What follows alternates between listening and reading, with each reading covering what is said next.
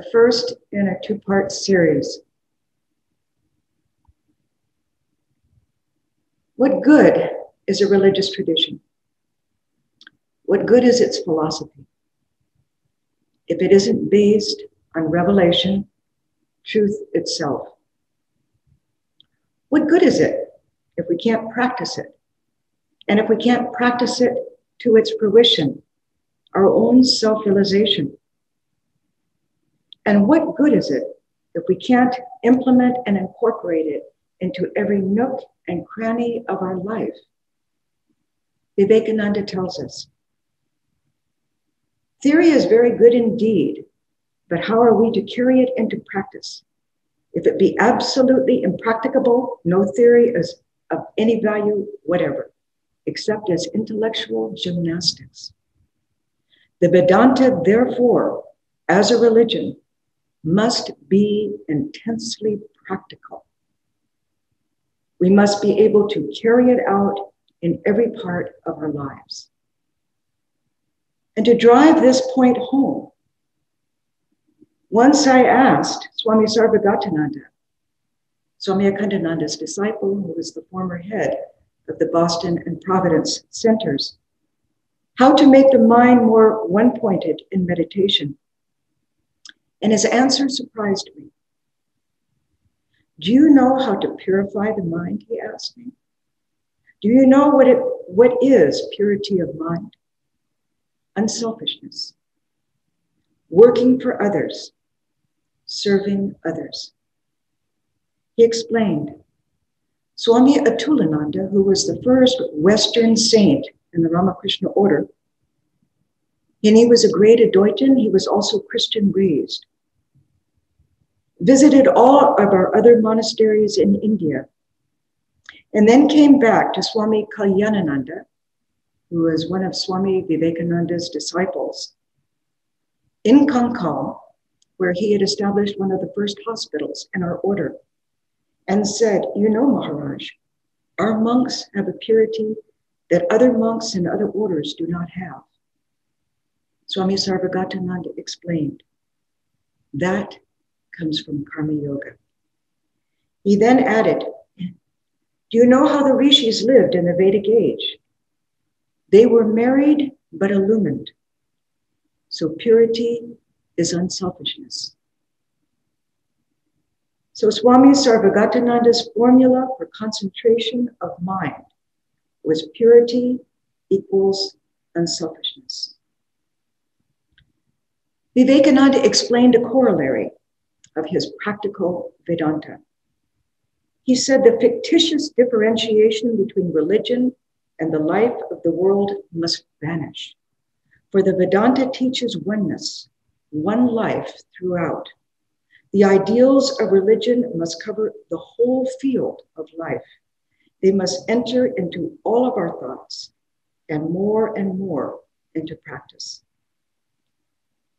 So here, it's important to note that Vedanta principles have to be realized and taught, not only by the rishis in the forests, but by people living in the world, leading the busiest lives, ruling monarchs.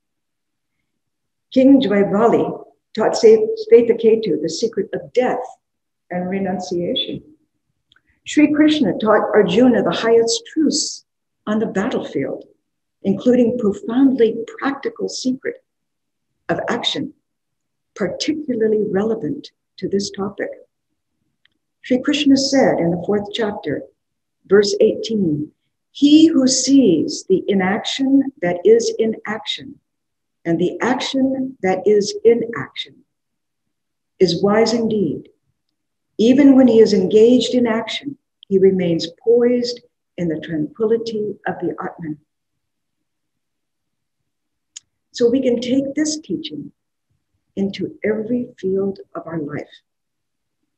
Vivekananda, real activity, which is the goal of Vedanta, is combined with eternal calmness, the calmness which cannot be ruffled, the balance of mind which is never disturbed, whatever happens.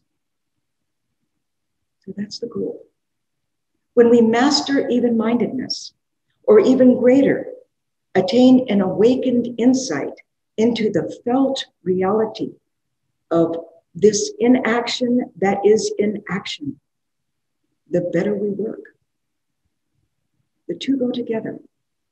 See, we can sit for hours watching videos on Advaita Vedanta, but it doesn't mean anything.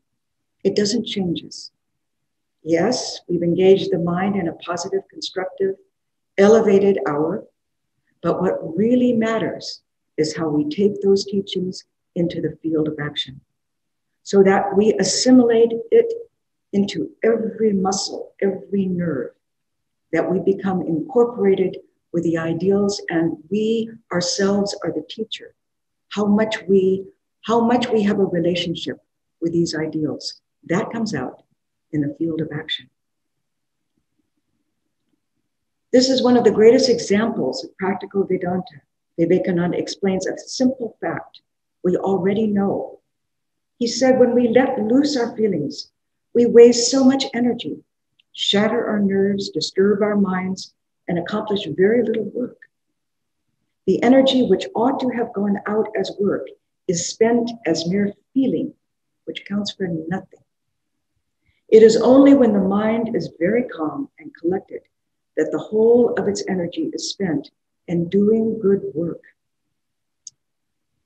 So we see that when we have been blessed and have the good fortune to see an aspirant who has attained that state of inner calm, their work conveys an unmistakable presence, a darshan of the divine. It's really something to behold.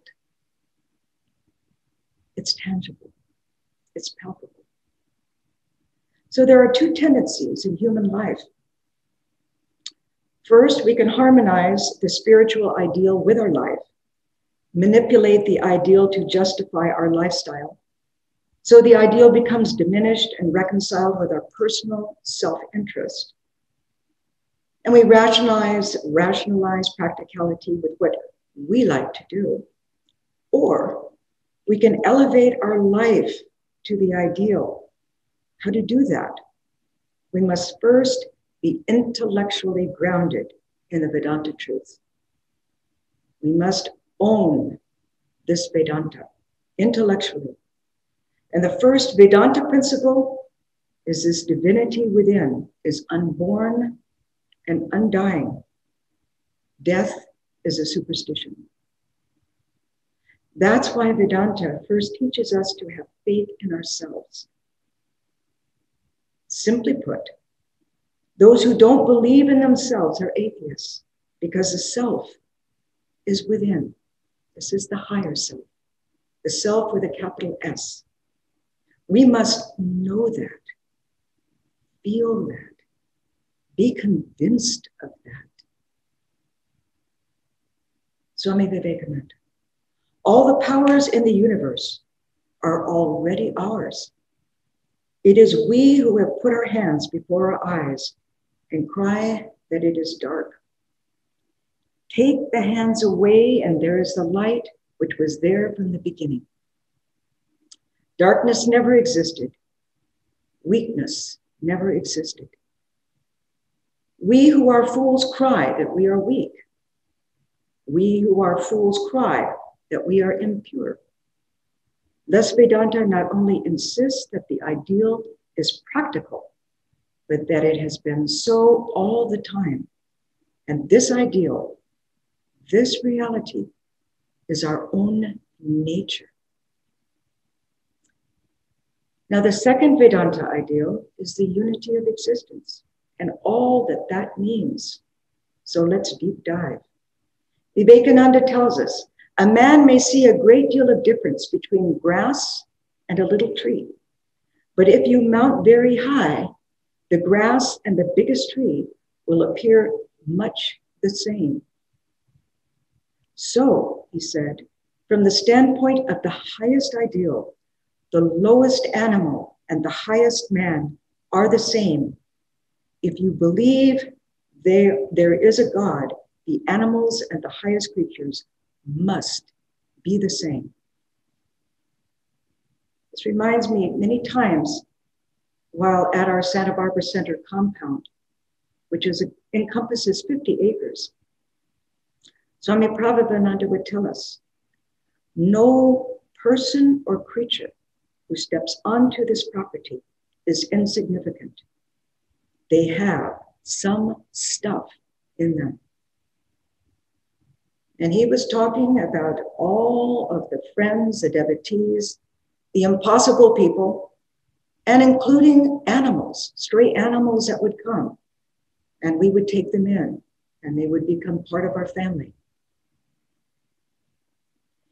In Bengal, India, you all have heard the story of the famous scientist who discovered this principle of unity through his vocation, Dr. J.C. Bose.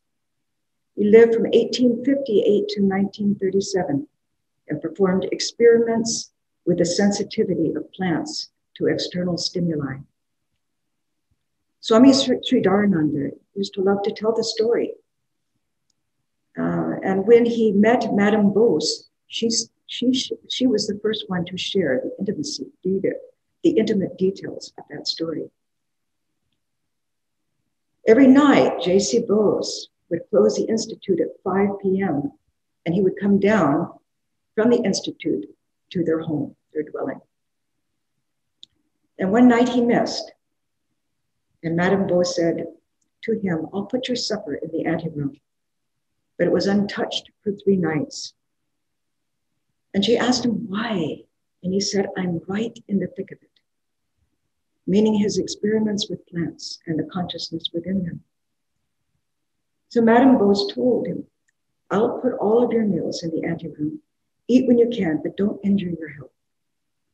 And a week went by, and finally J.C. Bose appeared, his eyes shining, and he said, I have seen that consciousness by which plants respond to external stimuli, and I have also experienced the reality behind that consciousness.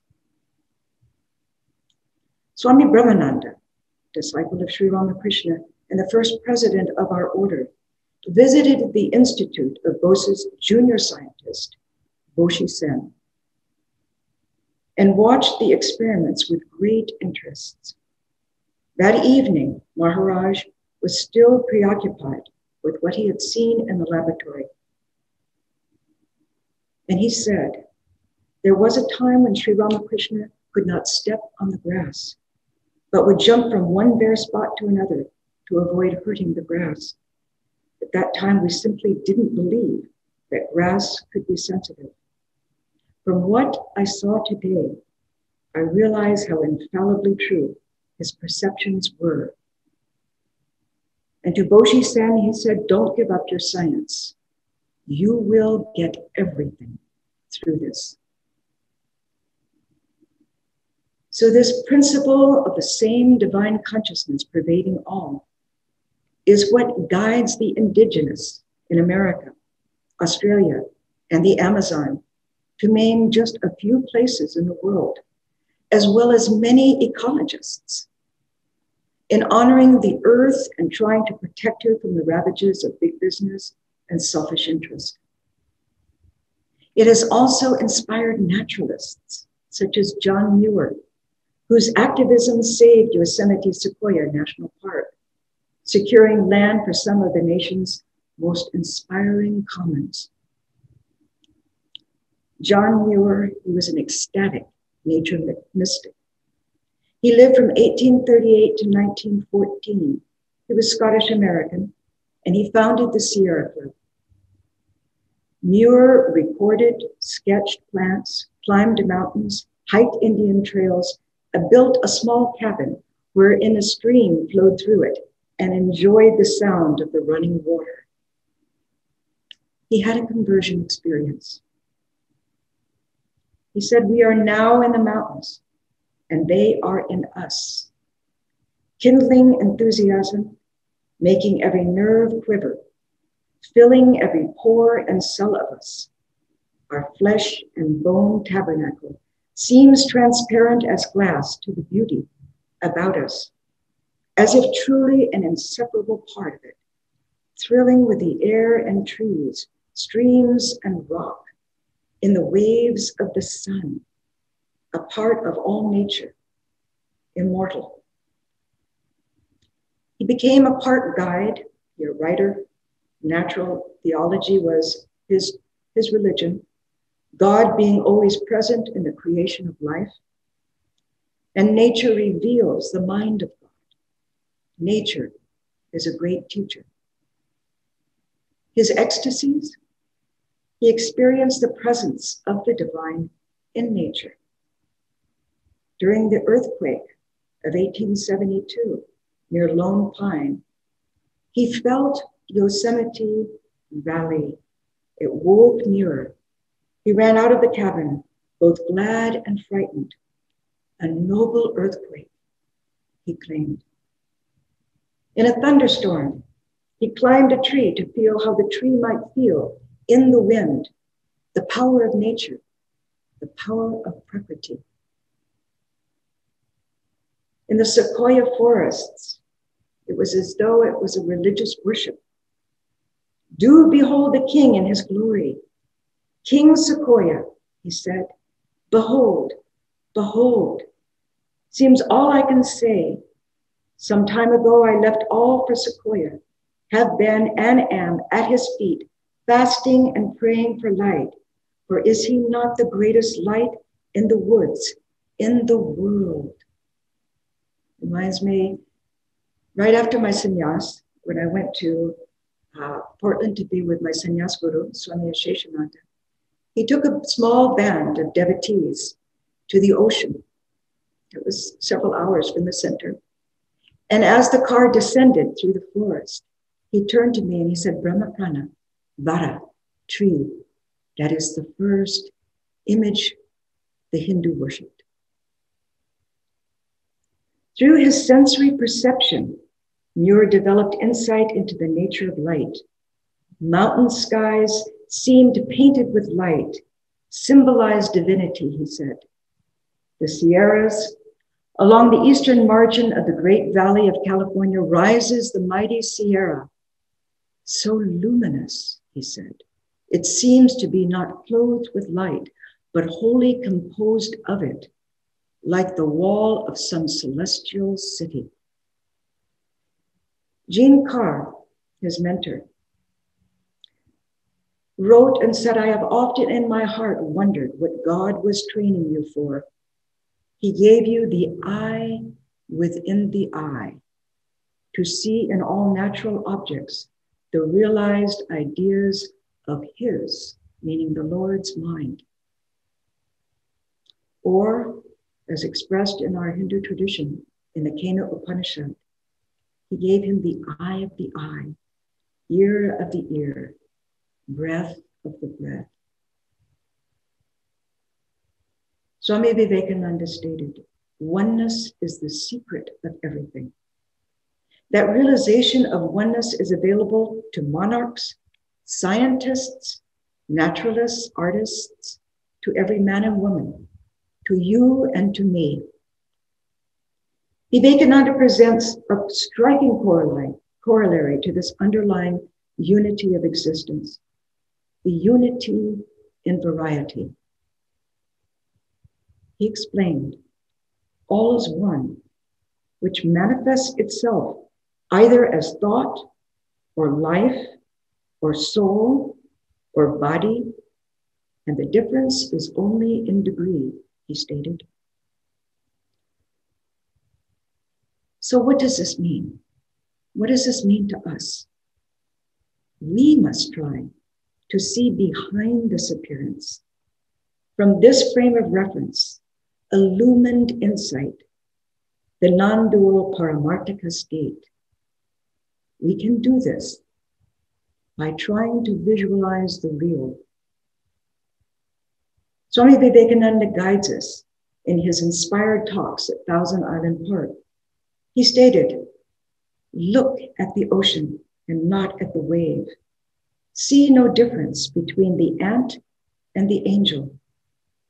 Every worm is the brother of the Nazarene.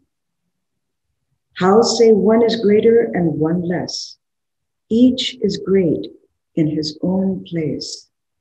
This is coming from the standpoint of vision. It's a radical statement, a radical truth, until and unless we make that unitary experience our own, as others have. Swami Prabhavananda related what he had heard from his guru, Swami Brahmananda. One day, Swamis Vivekananda, Brahmananda, and several other brother disciples were seated on the western veranda of the Belur Math. Suddenly, Swamiji, meaning Vivekananda, said to Maharaj, Swami Brahmananda, Raja, don't you see Brahman? Brahman is everywhere. Maharaj said that Swamiji's spiritual awareness was so intense that their minds were lifted up immediately and they saw Brahman everywhere. We too can make headway toward that experience by trying to remind ourselves of this grand truth in every encounter we have in our present dualistic Vyavaharika state, which sees subject and object. How? It is by making the revelation our practice. By reminding ourselves that each individual we meet is a wave, essentially is the ocean, a manifestation of pure consciousness, that we in turn begin to elevate, purify, and transform ourselves within. And gradually divine sight opens up, what the Kena Upanishad refers to as the eye of the eye, that spiritual eye that awakens within us. That is the eye that sees the spirit. There's also a second corollary with awakening of divine sight by which we experience Brahman, the all pervading underlying unity. That changes how we experience the pairs of life, the pairs of the opposites of life. Vivekananda. The difference between weakness and strength is one of degree, he said. The difference between virtue and vice is one of degree. The difference between heaven and hell is one of degree. The difference between life and death is one of degree. All differences in this world are of degree and not of kind, because oneness is the secret of everything. So let's deep dive into this truth. This Brahman, pure all pervading consciousness, is the secret ingredient that transforms everything. And then we begin to understand that death is but another form of life. Sri Krishna tells Arjuna in the Gita, second chapter, verse 13. Just as a dweller in this body passes through childhood, youth, and old age, so at death he merely passes into another kind of body. The wise are not deceived by that. Swami Prabhavananda would tell us most of us are deceived, thinking that this life is the only existence. But the wise see that there is really no such thing as death. There is really no such thing as death. The illumined soul understands that death is but another form of life, nothing more. Therefore, nobody can become completely annihilated or destroyed. So, what happens at death? The illumined see what we cannot. And here I'm reminded of a beautiful example I heard from a Swami of my last trips to India. Swami Yatiswarananda, a disciple of Swami Brahmananda, was staying at the Bangalore Math when one of his close brother disciples passed away when he was told the next day, he said, Oh, last night I saw Maharaj, Swami Brahmananda, pacing before my door, and I was so happy to see him. Now I know he had come from my brother disciple. You see? Now let's take Vivekananda's thought one step even further. This truth that all differences in the world are of degree only, coupled with the theory of reincarnation, means that there can be no permanent suffering or eternal damnation for any living creature.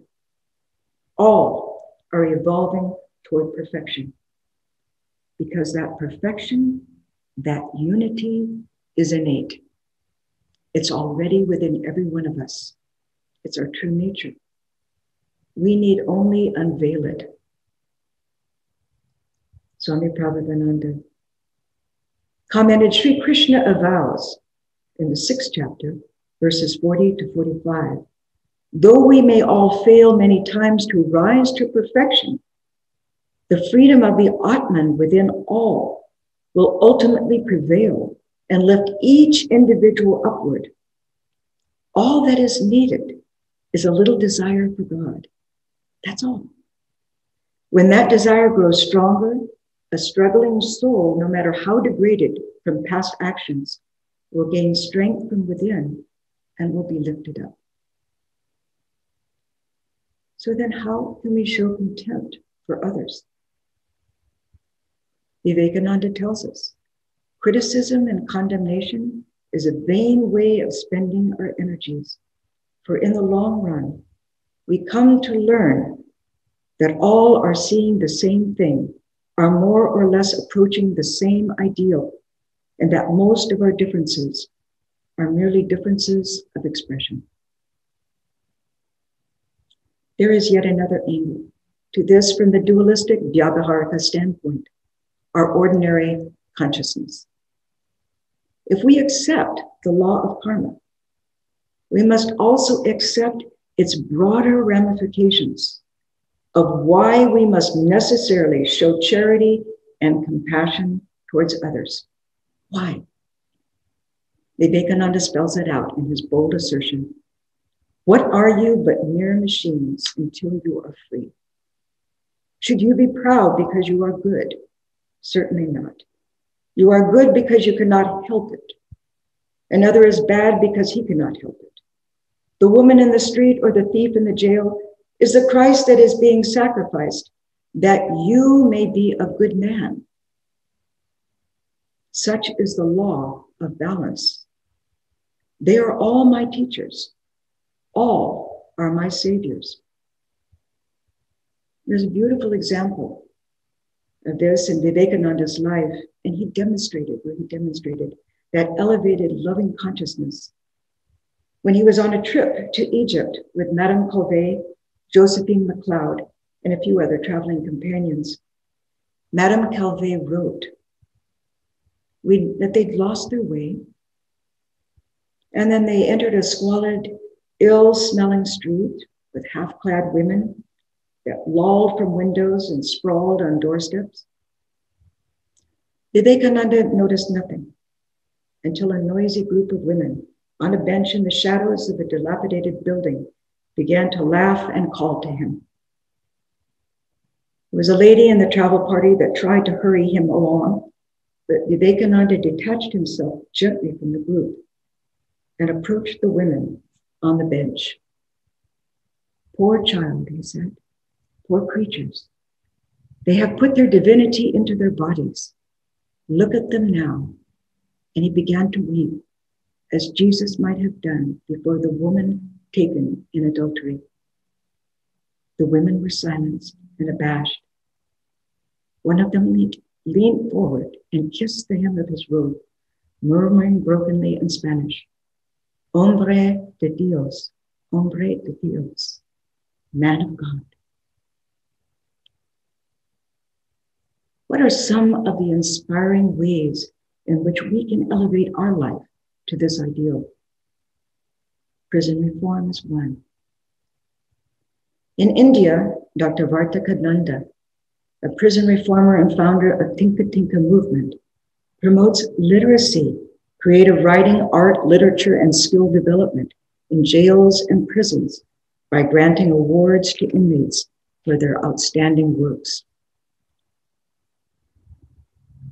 There's an example in 2015, Manjit Singh, a lifer that means he was in prison for life, was awarded a special prize in prose for his book, The Story of Awakening My Soul, about changes in his life in prison. It reminds us of what Vivekananda said let a man go down as low as possible. There must come a time when, out of sheer desperation, he will take an upward curve and will learn to have faith in himself. There is a prison Shakespeare programs. These programs have also had a dramatic impact on inmates in America. Why Shakespeare, we might ask? Christopher Zoukis, an investigative reporter for Huffington Post, reported on the Marin Shakespeare Company, which began teaching Shakespeare in the San Quentin prison in 2003 and expanded to several other facilities. Zoukis noted this, these examples are, are the spirit awakening. Studying Shakespeare teaches complex language and literacy skills, critical thinking about human emotions and the consequences of choices, emotional intelligence, empathy, self reflection, and gives rise to the exploration of new ways of thinking. Lesley Currier, the managing director of the company, explained that inmates delve into complex themes while exploring Shakespeare, Macbeth, and Julius Caesar are about committing murder and the psychology behind that, why they do what they do, how they feel after they have done it. And by working through these heavy emotional topics via fictitious character, inmates are able to self reflect on their own situations and past decisions. Lifers in one prison performed Shakespeare's Titus, and this story moved me deeply. The central character, who murders five people during the play, including his own son and daughter. One inmate who played the part of Titus described how he witnessed firsthand, as it were, the warped mind of this foul murderer through his own keenly focused mental lens as he reenacted this drama an internal mental emotional drama that mirrored in many ways his own murderous trajectory. And in the middle of the play, he broke down and wept in compassion and repentance. Vivekananda, how do you know what possibilities lie behind that degradation on the surface? You know but little of that which is within you, for behind you is the ocean of infinite power and blessedness. Bo Lozoff, director of the Worldwide Peace Ash- Prison Ashrama Project, an organization which supports prisoners who seek inner growth, wrote the book, We're All Doing Time, modeling the prison cell to the monastic cell. The book includes sayings and stories from the world's various religious traditions, including the Ramakrishna Vedanta tradition. And in fact, in the Vedanta Society of Southern California, we have received appeals from prisoners all over the United States who have read Lozoff's book and wanted to deepen their spiritual lives. You see, prisoners are not a part of our work. They're very much a part of our work. Through years, a number of our monks, nuns, and devotees have, have corresponded with these inmates and sent them books upon request, gratis. One prisoner in particular was a lifer who took up Sanskrit in a high security prison here in Texas and became devoted to the Vedanta teachings.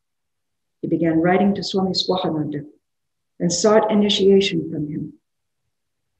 And seeing his sincerity, Maharaj, out of compassion, initiated him over the phone and sent him a blessed mala through the mail.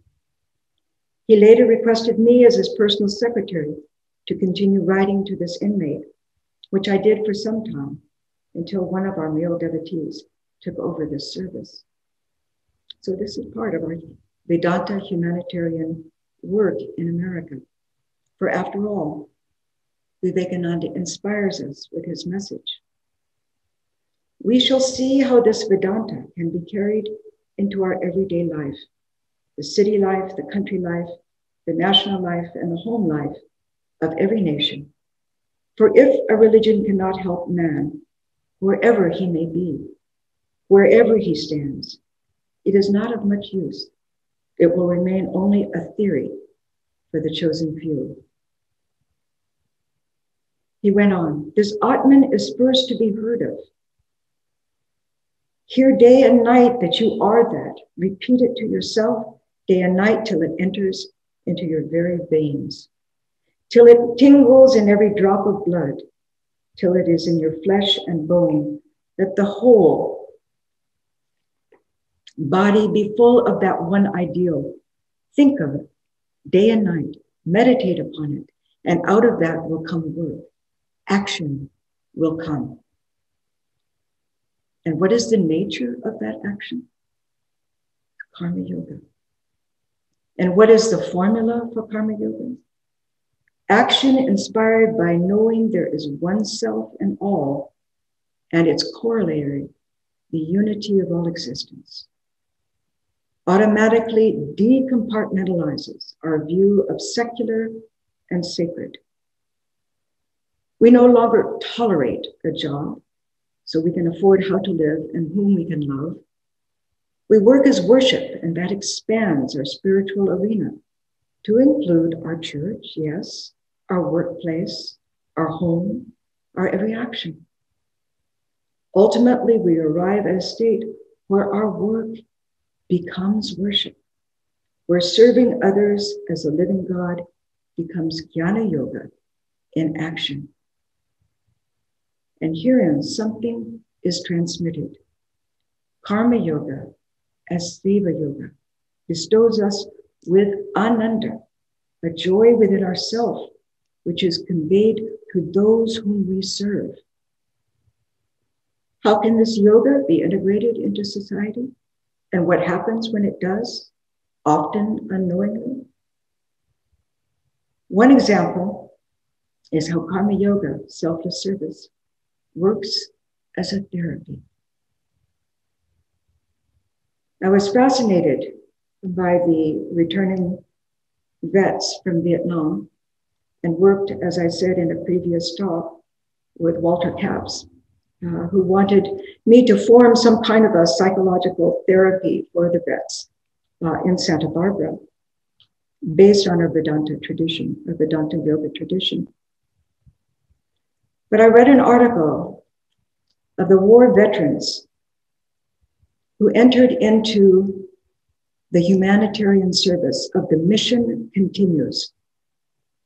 And it was so effective in dealing with post traumatic stress in the vets.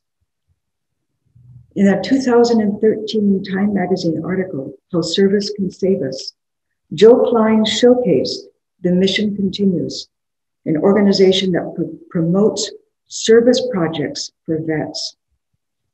I had read about Ian. He was suicidal, a suicidal war vet. And he said, I saw these guys doing these very simple things. Nobody can argue with helping to paint a wall for a disabled or a homeless kid. That's just good. There's no bad in that.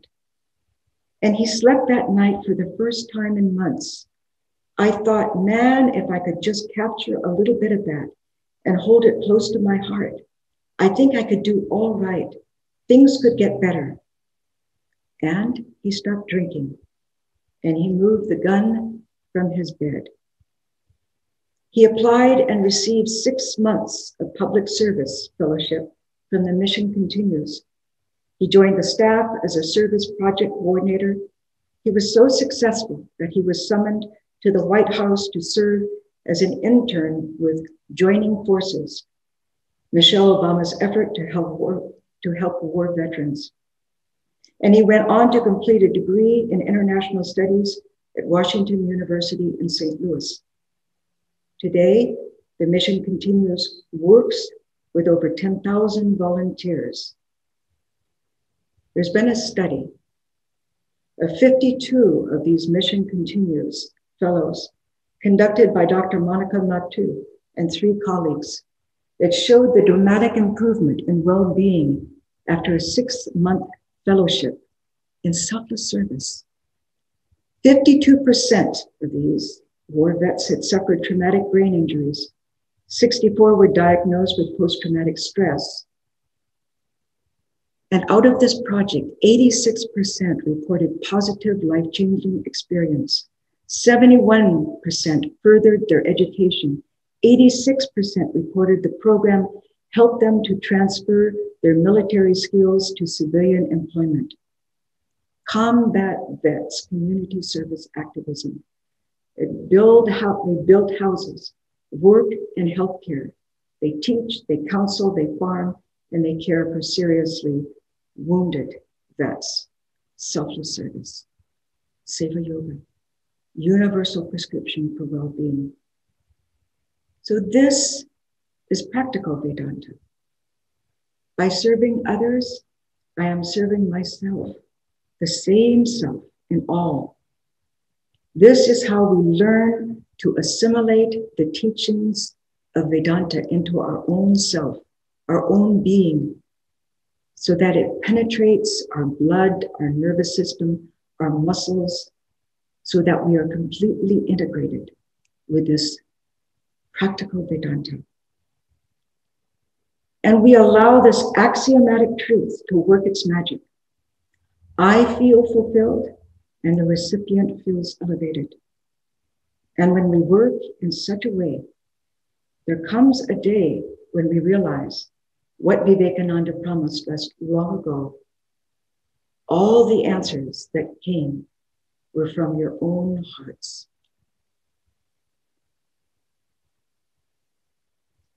So, friends, let's try to stabilize these teachings within us with a guided meditation. Let's sit straight this is a meditation on unity. This is what we have been talking about the unity of existence. Swami Ashokananda, who was a former head of the San Francisco Vedanta Society, was a great Advaitin.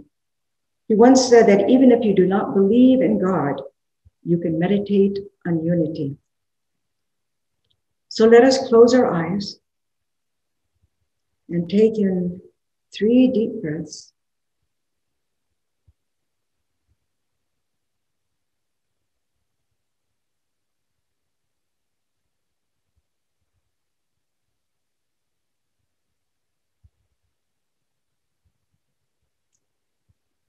Feel your body as a field of vibration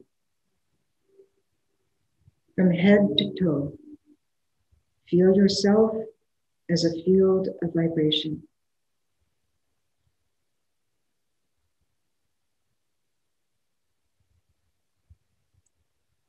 If we focus on a place on our back, we feel a point of vibration. If we feel our hands touching, there is another point of vibration.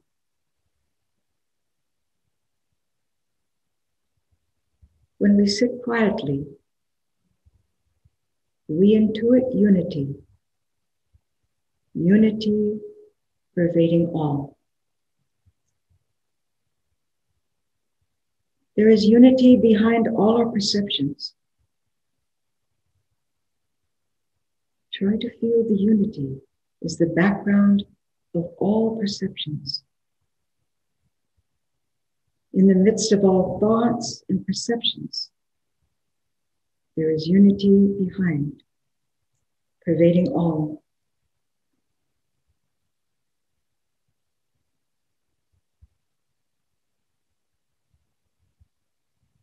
Feel your body Feel the room around you.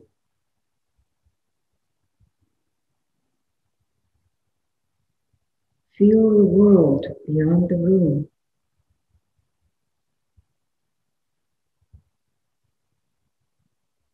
Feel the perceptible unity pervading everything you experience.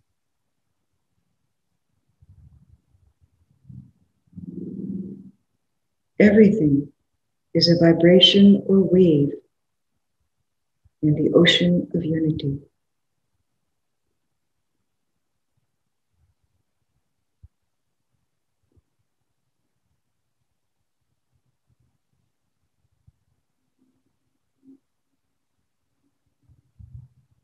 The body's presence is a vibratory presence in the ocean of unity.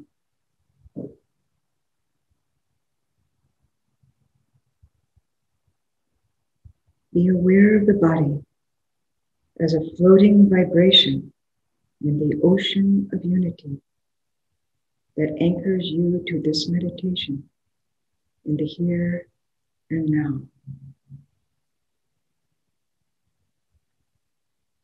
Om Shanti, Shanti, Shanti, peace, peace, peace.